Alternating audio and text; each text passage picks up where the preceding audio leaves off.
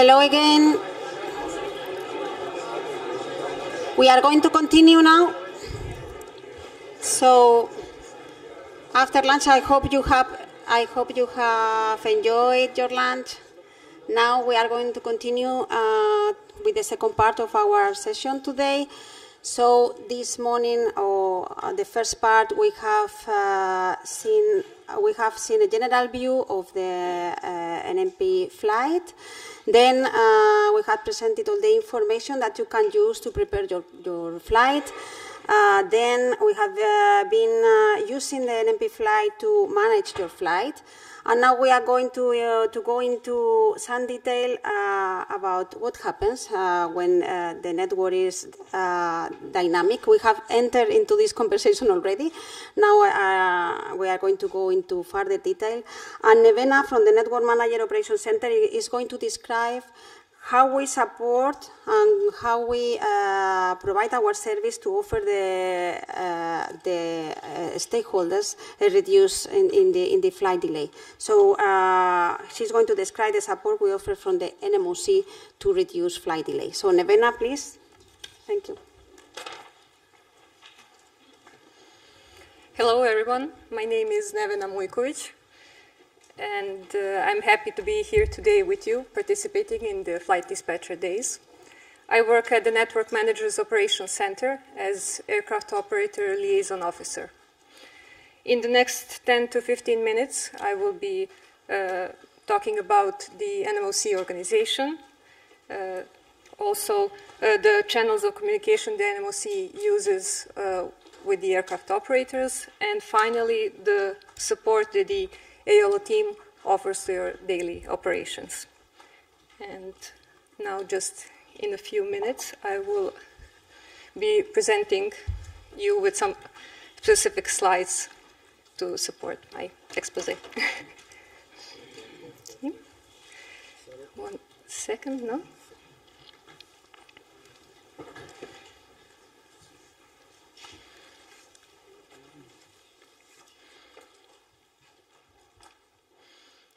Okay, thank you. Andy?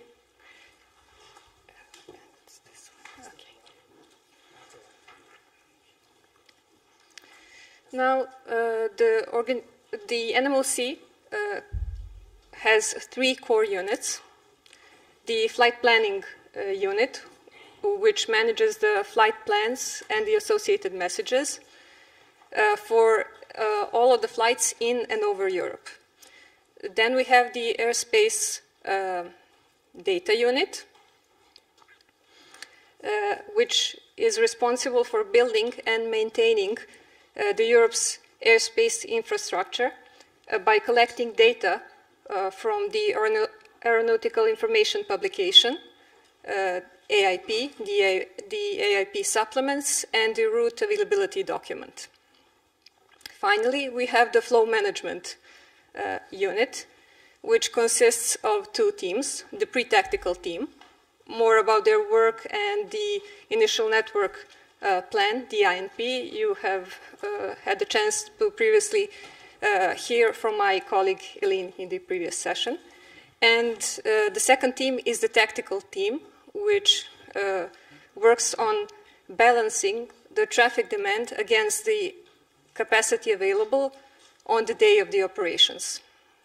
Now, to ensure the orderly flow of traffic within the network, um, sometimes the flow management positions need to act when, in certain cases, the traffic is forbidden, like incidents, closures, scenario applications, and when there are too many flights and the traffic needs to be spread over a period of time to do this, uh, they need to uh, apply ATFM regulations.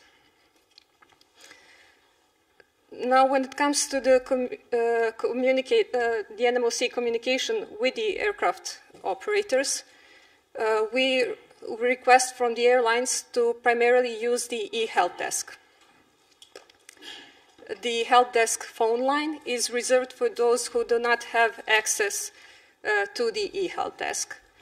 And in uh, some extraordinary uh, circumstances, uh, for instance, when you have massive delays on flights that have been uh, that have previously diverted, or you have um, delays on flights that uh, are being uh, pushed into regulation due to an active MEL or CDL flight restriction. For instance, an MEL was raised previously before the flight with a flight uh, restriction a level capping to a certain flight level, so you need to uh, fly into a certain sector that normally you didn't have to, and then you get regulated. Or you have massive delay on the flight uh, that is possibly threatening to result in a cancellation of the flight. Please call the AOLO hotline. No, no, phone, no emails, but just uh, the, the phone call. Now, uh, what we want uh, uh, for you to be advised is that if you want your flight to be uh, considered, considered for an improvement, if regulated, um, you need to, uh, your flight needs to be flagged in one of the following uh, statuses. The first one, request for direct improvement. All flights by default are, uh, have the RFI status, unless the slot improvement proposal or SIP wanted message status has been declared. This means that uh, your flight will not be considered for improvement, and if there are better slots for your flight, you will receive a message with the proposed slot that you can either uh, accept or reject. Ready to depart? Uh, we ask you that as soon as your flight is ready, uh, to, uh, uh, to make sure that your crew asks the tower to send a ready message. Uh, we want to underline the fact that only the tower has the ability to send the ready message. Why is this important? Because each minute and I literally mean each minute, our system checks the flight list, and all the flights that have REA status uh, have priority over the RFI flights and will get an improvement if there is one. And uh, finally, the critical flights. Uh, flights can be marked as critical through the e-help desk service. And these uh, the flights that are marked as critical are, um, have the highest priority and they get the best possible improvement straight away and if necessary, when necessary, they are coordinated with the FMPs. Now, when it comes to the way that we uh, at the NMOC and the AOLO team support your daily operations, as mentioned, we want you to know that all flights uh, caught in an ATF, ATFM scenario uh, or an ATFM regulation, including weather, uh, or a flight entering an overloaded ATC sector, or a flight that is uh, threatened to be cancelled due to an airport curfew. All of those flights are constantly monitored by the AOLO team and we work on these flights. How? Uh, our initial action is always to try to reduce the delay of the flight.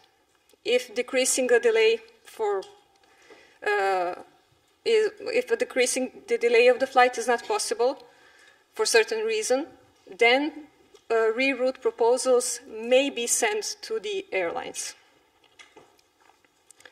There are different types of reroute proposals, and the reason that you will now we will later see during the demo uh, describes the purpose of the rerouting proposal.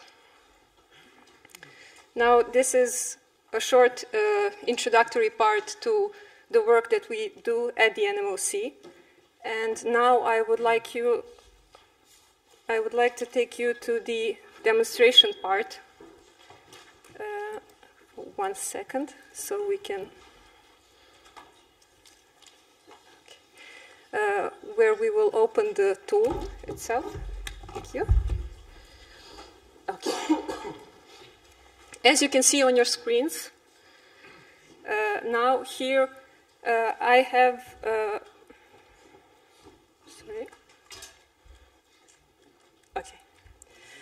Uh, this is my user, and for the purpose of this demo, I have saved a flight list with uh, certain added uh, optional columns. And also, as you can see here, we have a focus alerts preset.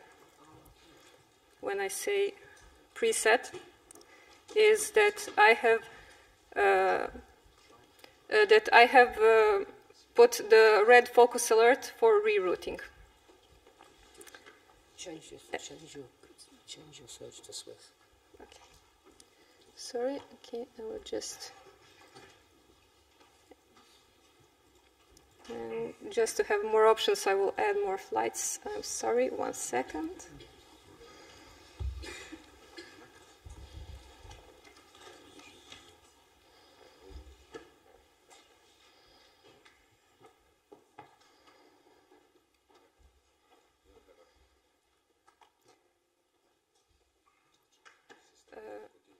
Okay.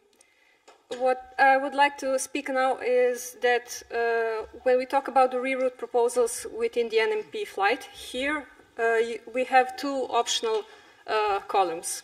The rerouting column and the RRP respond by uh, column. The rerouting column uh, is uh, displays the re reroute proposal being sent and uh, the respond by time is the time uh, by which you need to respond uh, by sending a change message or uh, cancel and refile. It is uh, a period of 30 minutes from when the RRP is being sent. And I'm sorry. Click on the call sign of one of them. Okay. On the call sign of one of the ones that have been. One of the top two. and then you'll, you'll scroll down and you can open the rerouting area. My laptop? Okay. I'm sorry, one second, just to find the. Re- it's not. Mm. We want to show you actually uh, the reroute with on the flight list, so that's why. Sorry for the delay. Okay, but until my colleagues manage to send a reroute proposal, I just want to speak uh, the, uh, a little about the flight list. So here on the arrow you can open the flight uh, management uh, window, but when you click on the call sign, uh, full uh, flight management window will open with different options here. And when we have a reroute proposal, we, you can scroll down, sorry.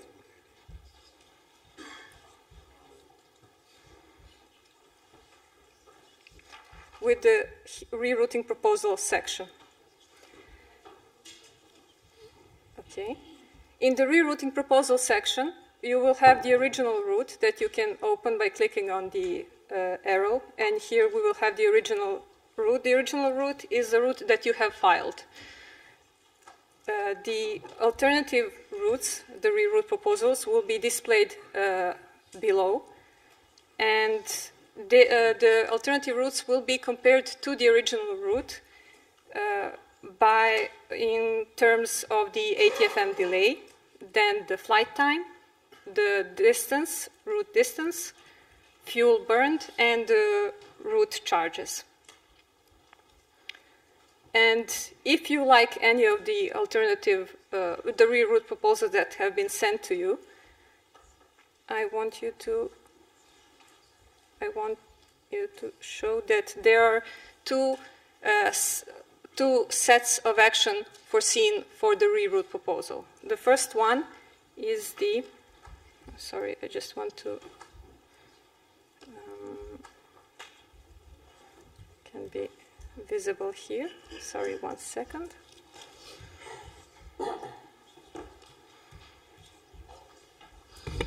I'm sorry, Andy, can you help me just to show the, I want to show the setup button. I have it now. The, Did you get it? I just want to go to the right here. Ah, sorry. Sorry. Thank you. The two sets of action that we want you to do with the reroute proposal that you might have. The first one is called the RRP actions. Here in this uh, column, we will have an option to reject the reroute proposal if you choose not to take up on it. And on the far right, the route actions, you will have uh, three uh, options. The first one is copy the flight plan, which will take the route, the alternative route, and paste it uh, up in the flight plan in the flight editor above. Okay, one second.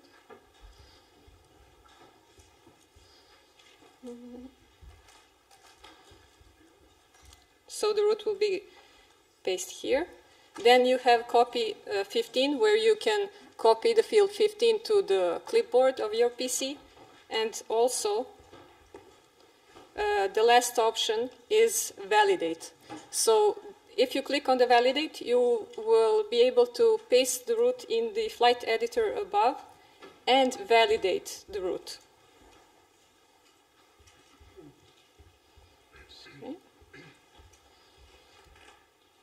By clicking it will automatically perform the validation, and here you will have uh, the result whether or not the route is valid. We always suggest strongly you uh, for you to do this because, uh, as you know, in operations things changes, and it's always advisable for you to perform the validity of the route that you want to uh, file later. Okay, and I'm sorry, maybe we will be able to perform, uh, to create one reroute proposal, but in the meantime, while my colleagues try to do that, do you have some questions for me? Okay, thank you very much, Nevena. Um, so, okay, there are a couple of technical problems there. Hopefully, we'll be able to resolve those and show you exactly what uh, uh, trying to show you. But uh, I think a quick summary. So, Nevena gave us an overview of the work that's done in the Network Operations Centre. Um, looked at the communication methods that, uh, that we have, and there'll be a little bit more on the help desk in the next demonstration. The way we prioritize some flights and why we do that. Uh, and then uh, it's part of the support to aircraft operators. Uh, Nevena tried to give us a demonstration on the RRP. I think it's important. You obviously can understand we're not working on a live system. We wouldn't ever demonstrate to you on a live system. So this is obviously uh, uh, one of our um, uh, support systems, and sometimes for lots of different reasons it can be a little bit flaky. So we do apologise for that. Uh, in the meantime, then um, I'll open the floor up to any questions. Uh, Nevena will do her best to answer, but we also have Slavis Stoyanov, who's one of our operations managers, who's joined us. Uh, he has a wealth of experience in all matters flow. Uh, so uh, if there are any questions, then uh, between the two of them, I'm sure they can answer. So the floor is open. Is there anything in the uh, in the QR? Okay, we have a question down here first. Uh, hello, I'm from Poland, from Jetstory. I have a question about priority status because I, I believe it uh, used to be uh, five priorities per operator per calendar year. It is still five, or it is calculated a different way?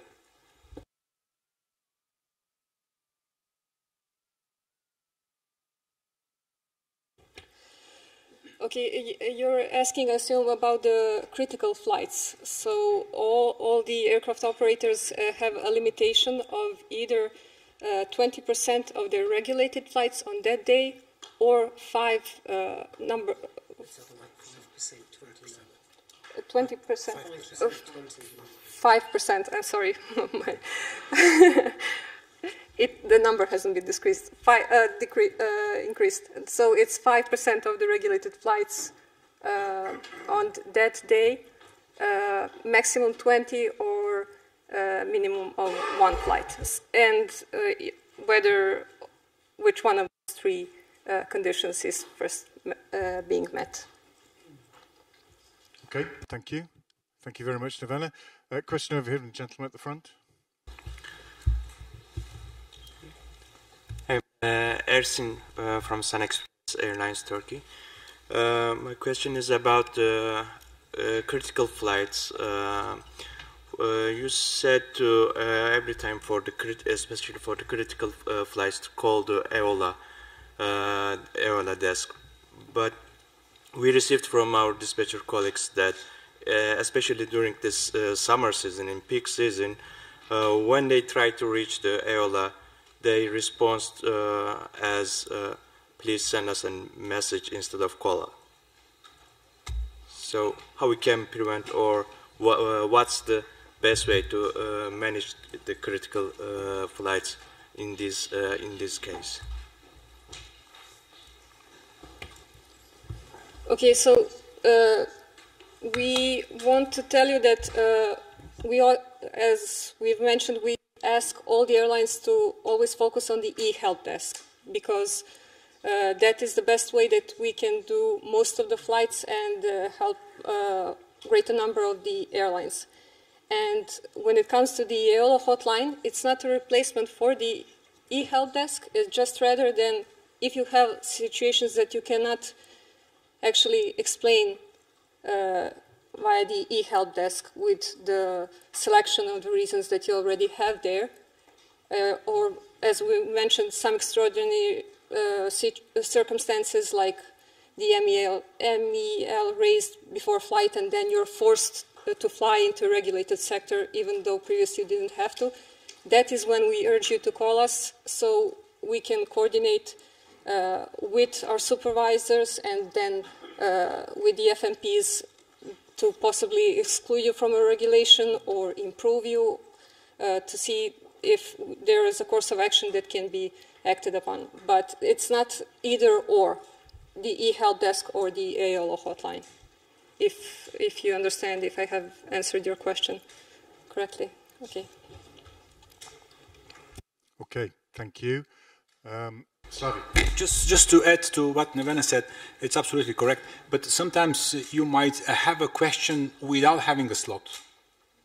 You see, so you might not have at all a delay, but you have another problem that you need to talk to us. Uh, for example, you have a route problem, or or there is uh, some event that we don't know, for example, and you actually are the source of information. You can tell us, and then something is blocking you to operate from that airport or whatever then you are the one who will call because you cannot explain this on the PC. So you see, this is like both ways communication. Uh, uh, I got, uh, but uh, what, what about the cases uh, for the curfew issues or any closures for the destinations or for the de departure airports? For this kind of issues, what's the best way to uh, contact uh, with the EOLA? those are explained. Those are available. You can decrease it? Okay. Uh, those are explained. Uh, so those are available on the eHelp desk, and you can use them. So like uh, curfew or crew hours, those are available there that you request. Of course, if there is a, let's say, negative answer to to you, and then you still have something to explain, you might still call us. And then you say, okay, something that you cannot put on the on the on the PC. But uh, as Nevena said, the, the, the curfew flights were already monitoring. That uh, you know you operate into airport where it will close. Like uh, if you go to Sabiha Gökçe or something, that it's uh, having a, a work in progress during the night, and you go into the closure time. And then we could then initiate uh, communication to the airports itself if they can ex uh, extend their working hours, like it happened many times, that they modified the NOTAM on the last moment to allow flights to come back. So um, it's those uh, uh, critical flights that are mentioned in the help desk, they have the drop-down menu. So you have all these possibilities, like a curfew or, or crew hours. So if you have something that, in addition, you want to communicate, then you call the help desk. That's that's the principle that we want to follow. Thank you, Slavi. Yeah. Um, okay, our gentleman from uh, Turkey, and then uh, I'll come back over. Can I just extend Ersin's question uh, for the, in terms of night curfew times? uh, how accurate information the Eurocontrol or the uh, operation desk has? Uh, are you coordinating with the airport or are you depending on the, the uh, operator's uh, statement? Yeah, thank you. We have, since a few years, we try to establish the service which is called airport position. And now these people, since last summer especially, are very active and they are monitoring constantly the flights that operate into the airport, which they know that they have a night curfew. So, for example, German airports, they're very strict. Uh, some French airports, also very strict. But we monitor and we know the impact on you guys, on the airline, how much expensive it will be if you have to divert for this. And we try our best, especially if the flight is suffering from big delay from the network. If it's done because of your own operations, it's another story. But sometimes that you have a flight which is scheduled very close to the operating hours of the airport is very critical. If you depart from the airport, which is closing down soon, and then the flight is suffering with the big delay due to the network issue, yes, we will try our best to take you out from there, but of course, sometimes we depend on the ATC. If ATC says no, it's no. But we have the data when we monitor. We have a crew which is constantly monitoring this. So even we try sometimes to call and say, can you extend the hours before even you are suffering? We see the numbers that are growing, that the flights will be actually not able to go there, and we try to extend the hours, but not always possible, of course. Yeah. We are uh, asking the extension as an operator. We are asking the uh, uh, working hours extension from the airport. But when uh, we, we get, uh, most cases we are refused, but if we get the extensions, then does Eurocontrol knows these extensions? Not always you're right, this is a big problem because if it's communicated locally in the local community or directly to you as an airline, many times it's not given to us. And this is exactly what happened to Sabiha Gökçe, where they had a closure due to work in progress and they were opening and didn't tell us. And this is, of course, is a issue of the communication and we address this in the post-ops phase. We go back to the airport and we actually cover this okay? Give us the notam before, not the verbal, the notam, and then we get it. So this is something that we work on. Yeah. Thank you. Thank you, Slavi. Um, okay, um, are there any more questions in the room at the moment? Gentleman over there. Yeah, just a question. Could we have a copy of uh, the presentation? Because it was not in the documents that Natalie sent out. Boris? Yeah, we will collect all the presentations, also oh, those planned for anyway. tomorrow, okay. and share with uh, with the participants. Thanks. This is the plan. Yeah, um, uh, are you from Arabia? I will go back again to uh, the e-help desk. Um, my question is, uh, when we send an e-help desk, how do you manage normally the messages? Is it managed by human or all of them? It's uh, by by machine. And also, um, uh, sometimes it happens for us when we send an e-help desk as a critical one. Uh, sometimes we get refused. If it's critical flight, how we can get refusal? If it's about uh, FDP, flight duty period of the captain, or the curfew, or whatever. Um, can I just interrupt there? The next demonstration is about the e-help desk. So once we've once we've done this Q and A, uh, Nicola is going to come up uh, with uh, about the uh, with some uh, information about the e-help desk. So, um, so we're going to go back to the demo now. Okay, thank you. So hopefully uh, we'll get that question answered for you in that session, there, uh, the next session, if that's okay with you. Uh, if it doesn't get addressed, then please ask it again, and uh, I'll make sure that uh, you get the answer. So, Nevena, I believe you're ready to give the uh, end of the demonstration. Okay, thank you. Yes, so yeah, as mentioned, my colleague will explain how the requests are being processed, but I just wanted to briefly return to the critical flights when we wanted to be aware that you cannot uh, preserve a certain number of flights as critical flights and then call the AOLO hotline and then add some critical flights to that number. So it is true that during the summer when you have called and said, okay, the, uh, this is our critical flight, is there something that can be done with a delay?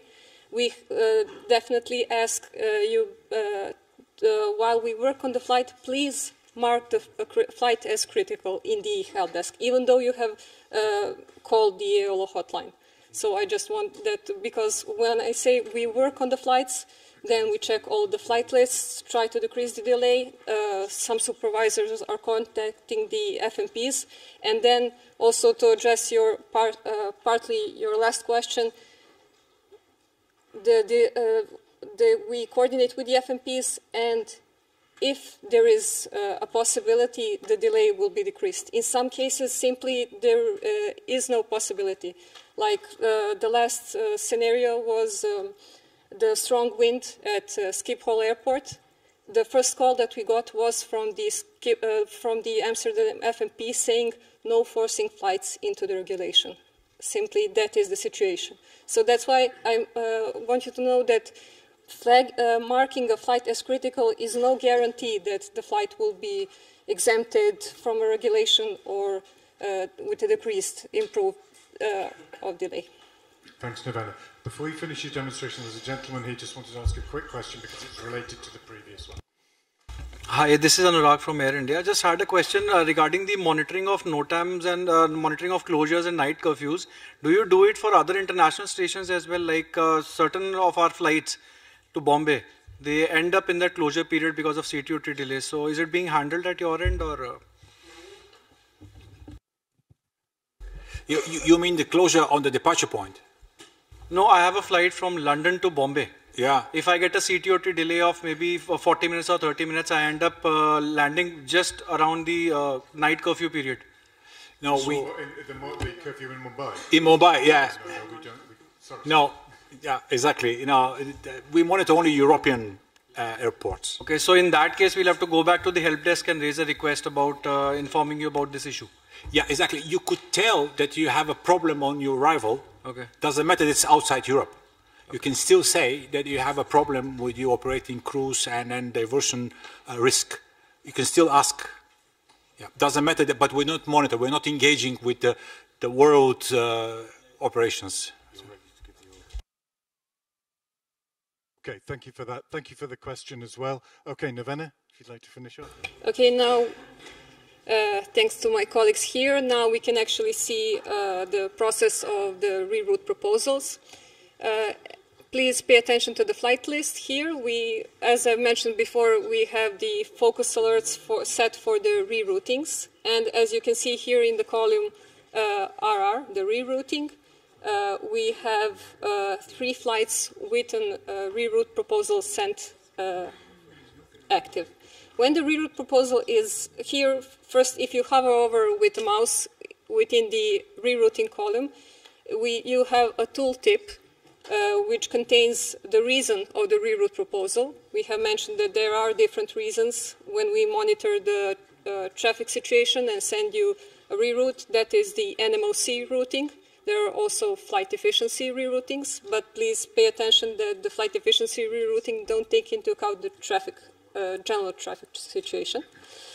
Uh, next, we have the state of the reroute proposal. Here it says produced. And then also respond by, which you can also see here in the respond by column if you have selected.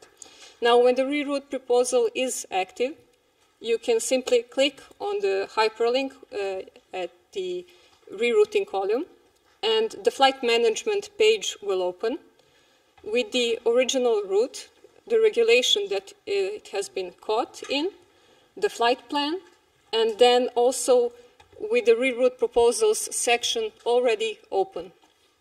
Here, as mentioned, you will see the original route, which you can expand to see in details, and below all the uh, re, uh, alternative uh, routes sent. Here we have one reroute proposal. You can also click on the arrow to open the and see the complete route. And here uh, we can see the comparisons being done uh, with the original route. Uh, the coloring is uh, rather intuitive, so when we have a cell colored in green, the delay of the uh, proposal will be less. Then we have the flight time that has been increased, the route length, the fuel burned and the route charges. Now we, as you remember, we have uh, two sets of action that we can do. Uh, the first one is if we choose to um, if we choose to accept the reroute proposal, we need to act uh, upon it until 1439 uh, UTC. That means that a change uh, message or cancel and refile needs to be sent by this time. If we don't want to use the reroute proposal, then we need to click on the reject uh, RRP button. Why is this uh, important? And we ask you to uh, do this if you choose not to use the reroute proposal. Especially for uh, this is important because at this very moment, while you have an RRP active, uh, please be aware that your flight is uh, having two slots booked. The first one that your flight has, and the second one is the slot booked by this reroute proposal. If you do not wish to use this reroute proposal, reject the RRP, and that uh, our uh, slot booked for the RRP will be released. Releasing those slots may uh, result in other of your flights caught in the same regulation being offered by this uh, CTOT. And that is why we ask you, the airlines, to uh, perform this uh, action if you uh, choose not to use the RRP. And again, the, reroute, the route actions that we have explained previously, I will just click here on the validate because uh, I want you to show what we have discussed. So uh, by clicking on the validate button, uh, it will copy the route in the flight plan in the, here in the editor above, and you will have the result uh, that the flight plan is uh, valid. It will also be displayed on the map. And that is from my side. Thank you very much, Nevena.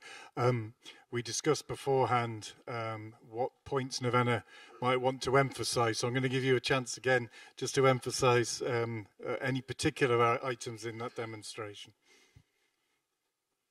Well, again, uh, the prioritization of flights that like we uh, already said, each minute our system checks all the flights in the flight list. If your flight uh, is ready, then please ask the tower to send a ready message. Only the tower can send a ready message. Simply by declaring that you are ready, we cannot see it in the system. So it is better that uh, for you uh, to join this automatic process and if you're ready, ask the ready message. And the second would be, again, please don't hold two CTOTs if you don't have to, because releasing the CTOT booked with a, a reroute proposal, other flights can benefit. That's it. Thank you very much, Nevena. And of course, if you do have a ready message in the system, there is really no benefit in calling us to tell us that we have a ready, you have a ready message in the system because we know and we'll be working on it. Um, so, okay. Um, I know there's a couple of questions that have been put in uh, via the QR codes. Chris, uh, there was one in particular that you wanted to make sure got Yeah, there's quite a lot of questions, and we will be getting back to everyone at some point. Um, one that was quite in, in, um, really useful, I think it gives a, an idea of the work that goes on here in the summer, was to understand the volume of the operations, how many phone and queries NMOC, rece uh, NMOC receive every day regarding improvements. Slavi, is that something that you could give us a, a, an overview on? And then sort of the number of people that are working on these things? I, I will not recall the number of calls uh, now at the moment by heart. Um, but I can tell you that uh, before putting the e-help desk, we had more than 10 callers at the same time waiting in a busy day, which is really uh, slowing down our operations and, and a help to the airline. Uh, in now, at the moment in the ops room, we have one specific position for the help desk, which is manned by uh, one or two people during the shift. But in the busy days, in the summer, we have additional position. So we have two help desks running, and a lot of other positions can open the help desk and help. So, but those are not their prime job. They will do this as a let's say, second job. They will do their prime job on monitoring the network, monitoring the traffic volumes and uh, uh, overloads, but uh, they will help the help desk, uh, the workload in the um, in the help desk. Uh, so we're saying sometimes you will have a delay in the answer. It's not that we're not doing anything. We're just busy with other phones and other people like you that are also calling us or um, sending messages on the help desk. And I will here again ask you, uh, all of you, not to try to call the phone to call to uh, put a request for the same call sign on the help desk and at the same time to call the ATC for help. Because in the end of the day, you create workload for us and then it's actually counterproductive.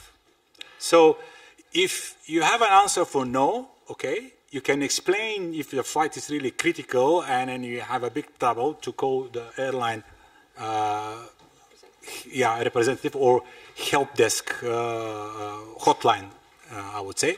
Uh, but otherwise, you know, I know that you're under pressure during the tactical day, and we are also. In the summer, busy day, we are saying that we will try our best, and you have to trust us that we'll try our best. Because if the network is limited, it's limited. If somewhere we have a capacity issue, we can tell you reroute, and we can give you a reroute proposal. But it's, it's useless to call 10 people and have the same answer in the end, because in the end you get a really engaging with too many people and then have no, no improvement. Thank you. Thank, Thank you. you. very much, Slavi. Um, so I think uh, we've talked about the e-help desk and what that can offer us. So I think it's probably a good opportunity now to close this particular session and move on to the next one, which addresses that. Um, as I've said before, and I'll keep saying it until I'm blue in the face, if you do have a question and you and you write it down via the QR, please try and identify yourself because we do want to get uh, get back to everybody either tomorrow, later today, tomorrow, or even after the event. So uh, none of your questions are wasted, but we do need to know who asked them. Um, so I apologise if you had a burning question at the moment, but I think hopefully the e-help desk in the next couple of demonstrations uh, will uh, will answer those. Uh, back to you, Leanne. Yes, as